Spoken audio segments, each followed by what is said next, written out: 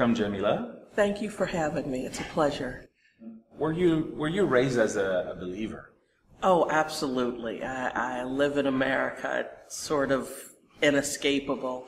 Um, I was raised in a house with a Southern Baptist mother who converted to Catholicism just about the time it was uh, ready to put, she was ready to put me in Catholic school up the street. So um, we got that parish discount. My father was a non-practicing black Muslim. His family followed uh, the minister Elijah Muhammad, and he had stopped practicing by the time I was born. But um, it was it was definitely uh, a very churchy upbringing. Directly across the street from my house, I would when we would give directions. It's we live across the street from Macedonia Baptist, um, so the church was a landmark. Uh, my summers were spent in um, Bible school, um, vacation Bible school um, with the King James version of the Bible because it was just a way to meet and hang out with other kids. So yeah, really, really um, Jesus-y growing up, and I truthfully never really bought into it. I thought there was something wrong with me because it just never really made sense. Um, and I tried, but here I am today. and uh, how did you grow out of, uh, of your faith? Um, I wish I had one of those meaningful, deep. And in that moment, I realized there was no. Um, my father signed all the Christmas gifts when I was four Santa and Dad. And the A, that distinctive handwriting of his, the A gave him away. And I was so proud of myself. You know, oh, there's no Santa Claus. You're Santa. I get it. Ha ha ha. And I could tell that my parents and my older sister, who's, you know, a decade older than I am, they thought I was stupid.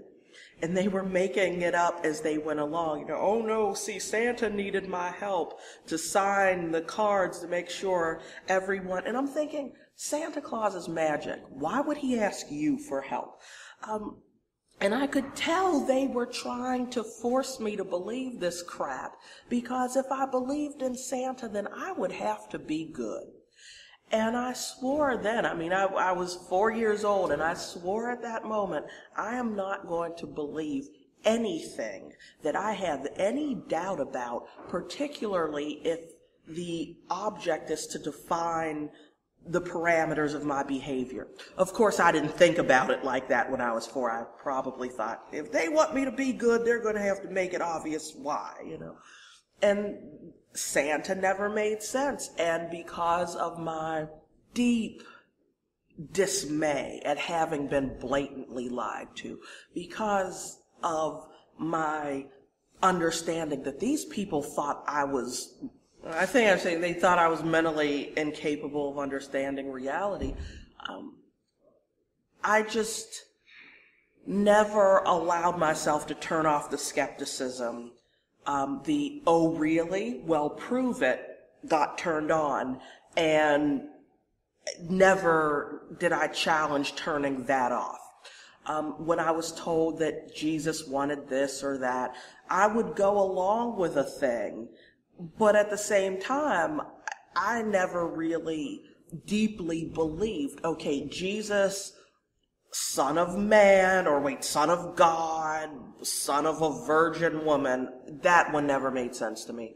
Um, is God, is his own father, came to earth to illiterate desert people, um, died, floated up into heaven, and then I'm supposed to do all this stuff to make sure that he's going to come back someday. And it's been thousands of years and he's not back yet.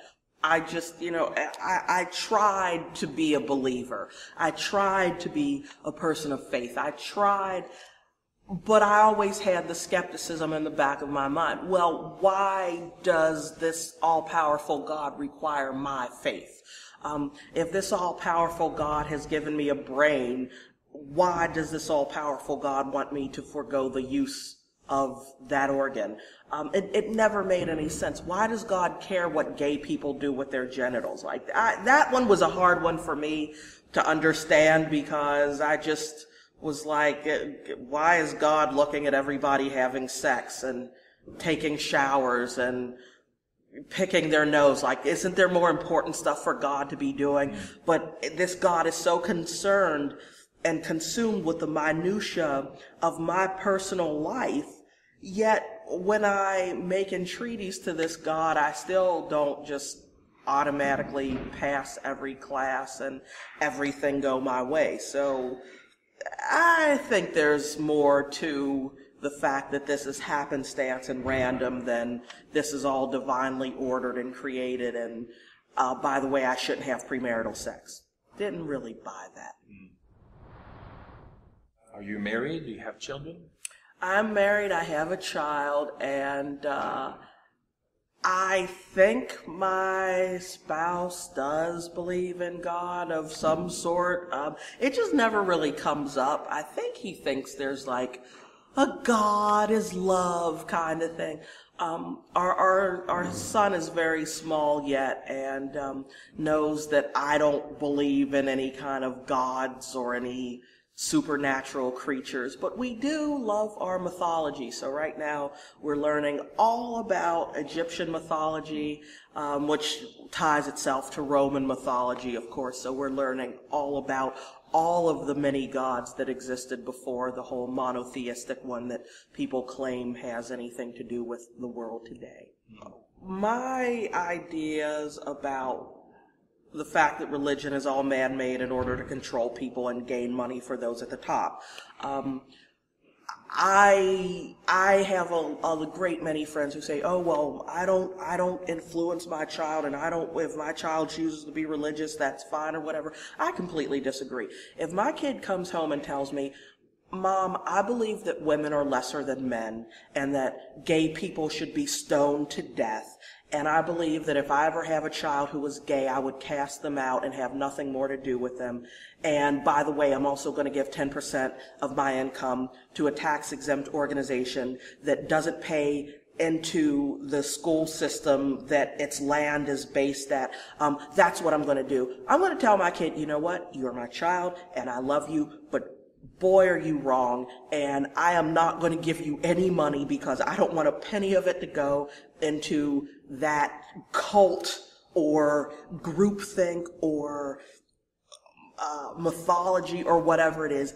I have a problem with that, and I'm not supporting that. So you just you you you will be 18 and out of my house before you do any more with it.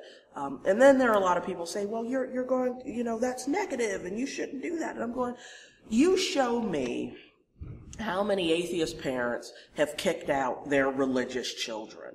Okay, it doesn't happen.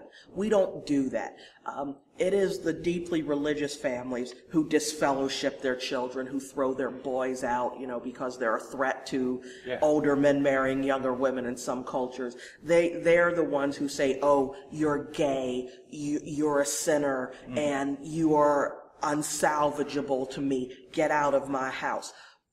Me saying I think your decision to be religious is a dumb one. I disagree with it, and I'm not giving you any money to go and tithe with. Come on, that that's that's just yeah. Show me when it happens, and then I'll believe you. I've seen no proof to the contrary. So right now, I'm still talking in the theoretical. I can't imagine that my kid would um try me. I can't imagine that he would try me. He'll probably just hold on to it. And then when he's 18, he can go and, you know, wear whatever kind of vestments he wants and, you know, be celibate all he wants. And he can, you know, think whatever he wants about the superiority of men and whatnot. And I'm still going to argue with them, but I will accept that from an adult. A child who I have to feed, clothe, house, and pay all his school fees, oh no, not coming into my home. How did you start writing for the Washington Post?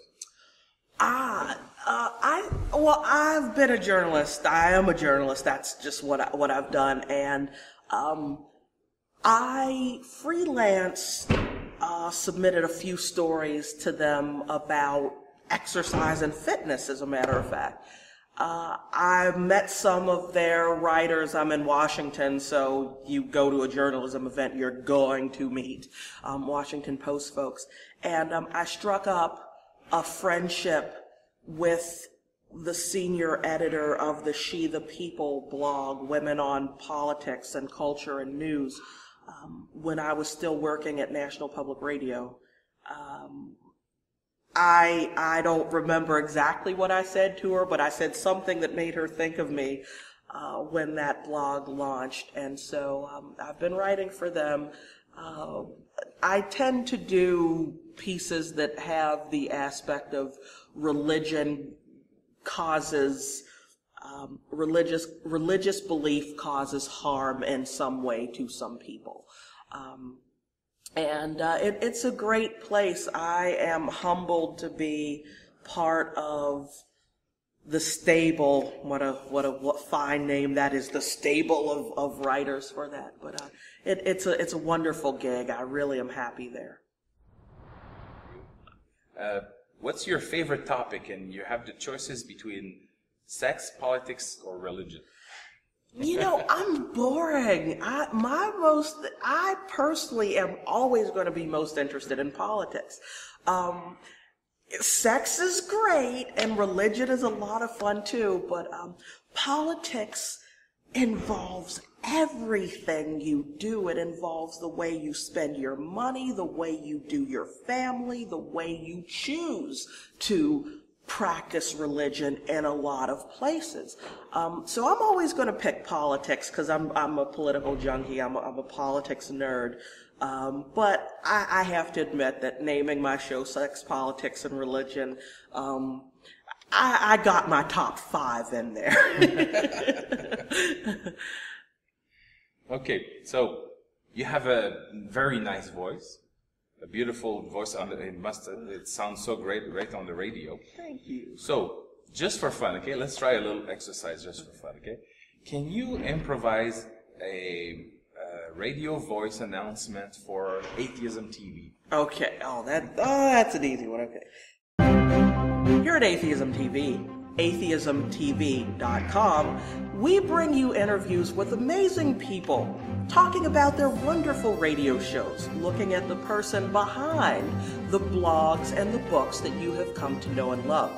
Atheismtv.com is your one stop place for all things atheism in the virtual world. And we know we love reality, and that's what we do at atheismtv.com. Thank you. That's great.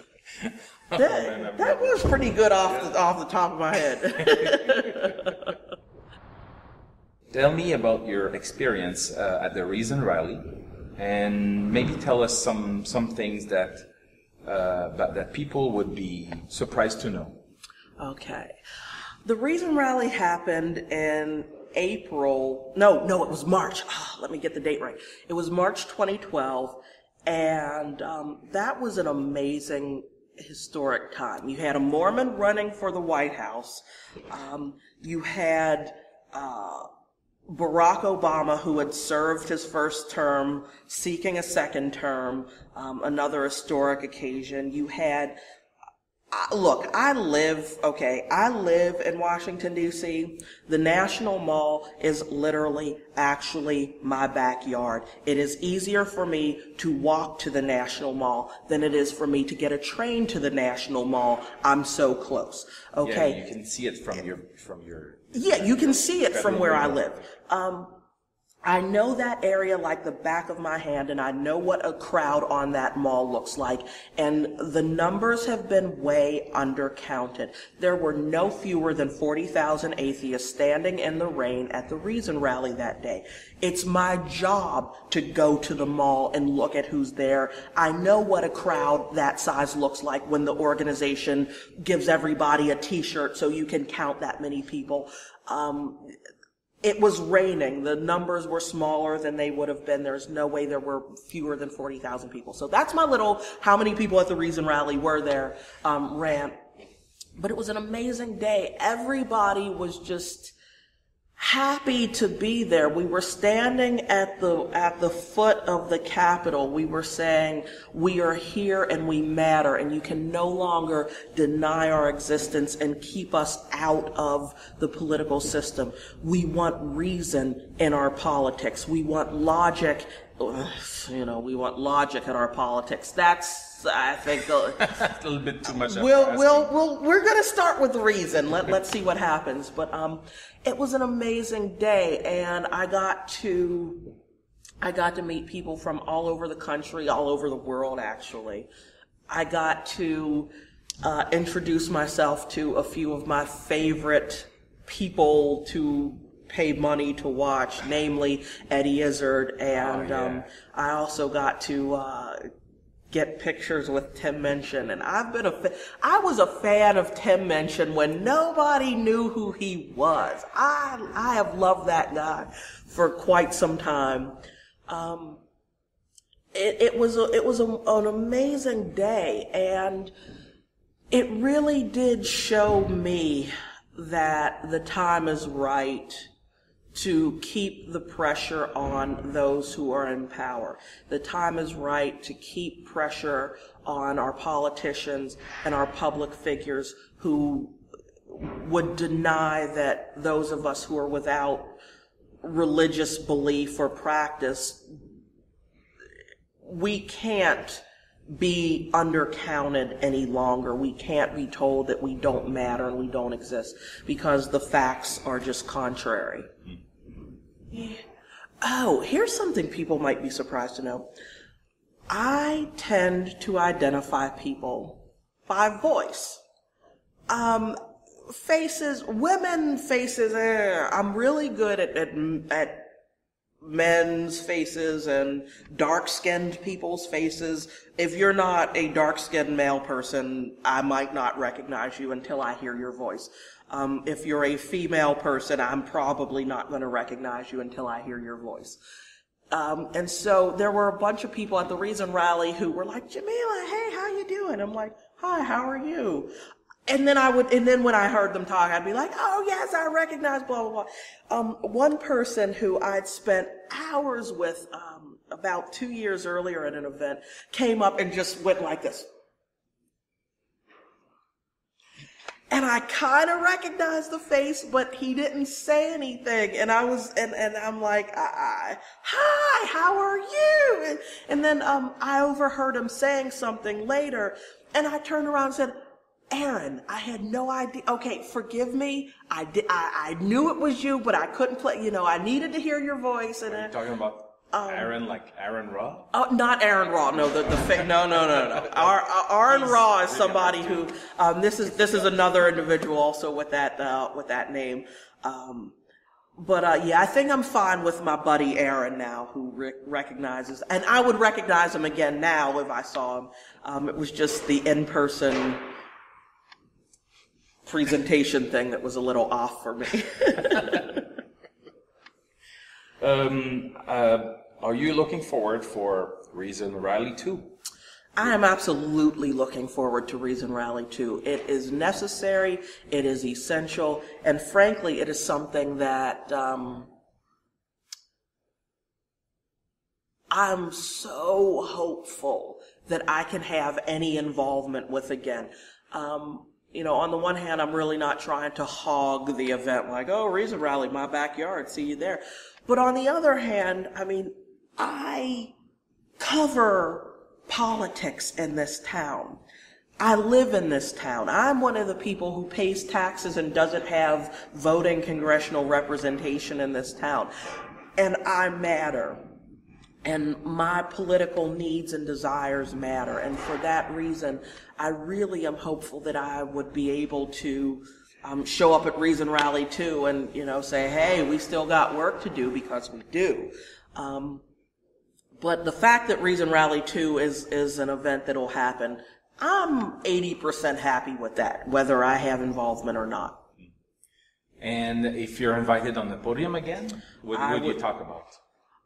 I would find out what other people are saying too, um, so as not to be redundant. But I really, I really want to talk about um, the gains that non-religious voters have made in terms of um, the, the secular invocations that are happening around the country. Now we're being locked out of secular invocations in a lot of places.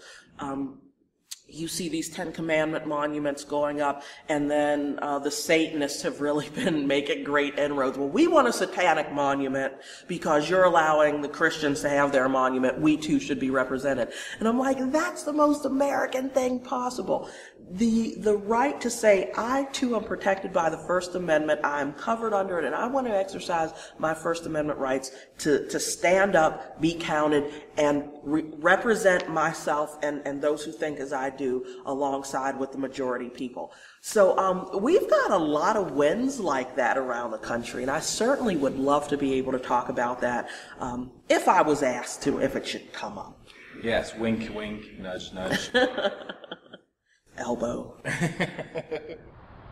well, uh, my radio show is called The Sex, Politics, and Religion Hour, SPAR with Jamila. And uh, it had been airing on terrestrial radio, and now I'm redoing it as a podcast. So the website is SPAR, S-P-A-R, for sex, politics, and religion, but sparwithjamila.com.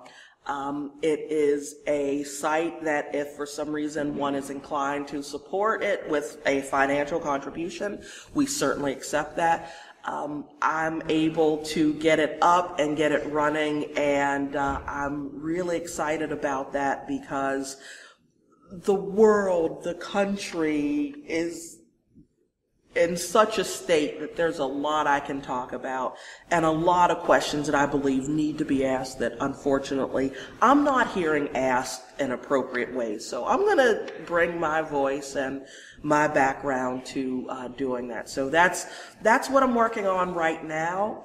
Okay. Thanks, Jamila.